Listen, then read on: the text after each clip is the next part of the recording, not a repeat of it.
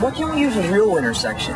Because for practice, you know, it's just best, uh, it's just easier. How can this be easier? I mean, setting up all these cones, it must have taken forever. There's like an intersection like one block down the road. Okay, I didn't want to have to say this, but some of you drivers, a parking lot is a little bit better to practice in because, well, because orange cones don't sue. The decisions you make in intersections affect your life greatly. Like whether you're going to get to your destination point or not. Now, please, don't anybody go anywhere until I tell you to.